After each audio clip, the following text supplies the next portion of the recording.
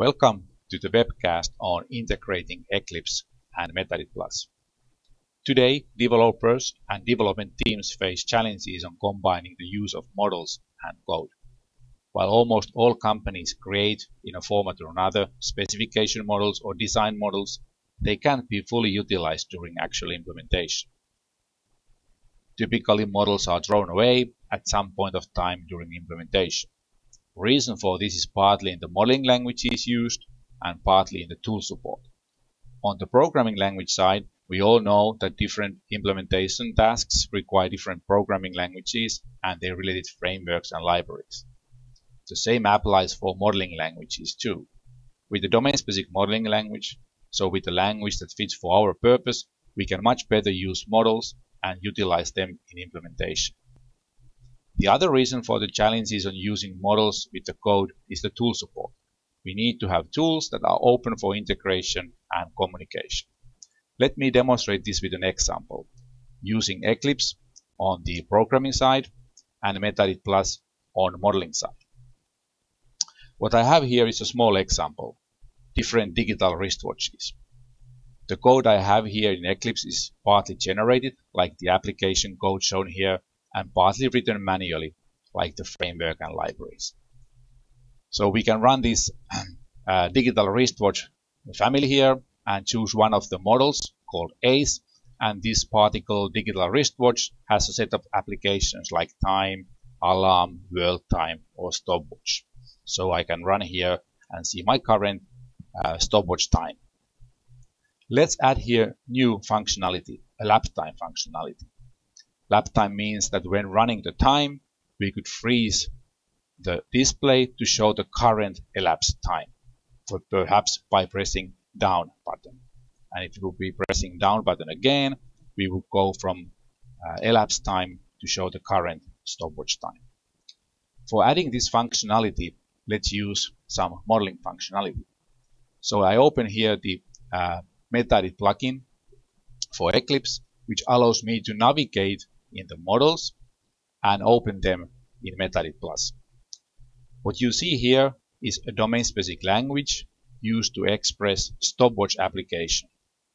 So this domain-specific modeling language has the concepts like actions, alarms, buttons, icons, displays, and so forth. So we can now add here a new uh, state, for instance, which I call here a lap time.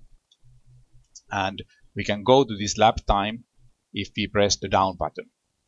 So I reuse here the existing down button and then uh, I say that when we are in a running state and I press the down button, then we move into a lap time. And if I press again the down button, then we go back to the running uh, mode.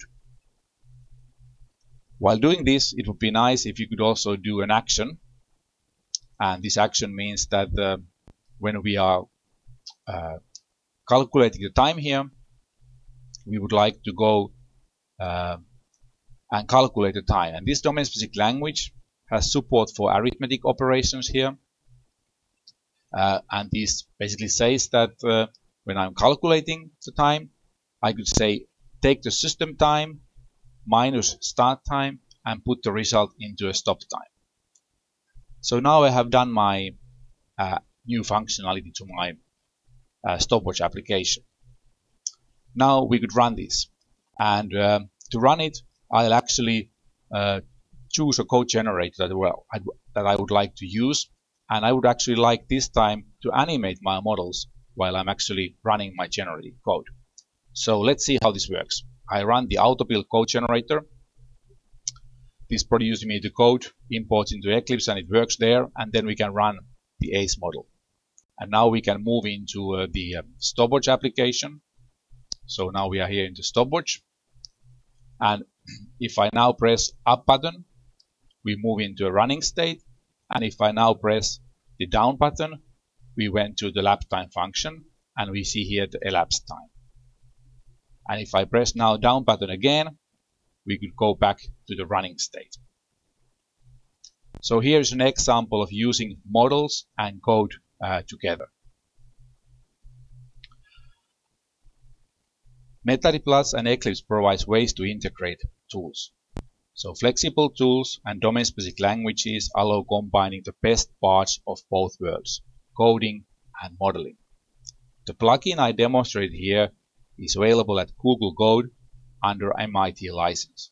You may download the plugin, access the source, and use it freely as you like. Thank you for watching this video. Happy coding, happy modeling.